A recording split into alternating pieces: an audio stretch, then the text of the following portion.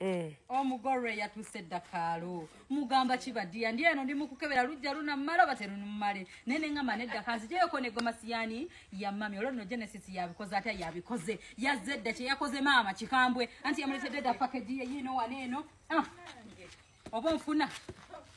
N'ekitambaala kye. Ah, oba onfuna?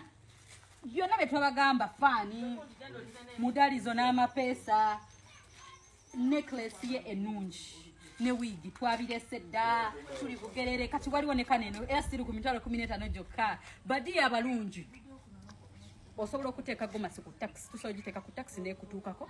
Bw'oba oyagadde genesis yabagikutwalira omuwe amafuta ga mitwalo kumi kisinzira ekifo gy'oli. Naye emmotoka enywa amafuta Ki- kiri beta nokosa taxi oba bodaboda? Mutwalo gumu bikiwe bate delivery oba okitegeera? We omuntu ajja kuvuga motoka ye amafuta ataddemu gakomye kwetere gomasi yekumi n'etaano nedda.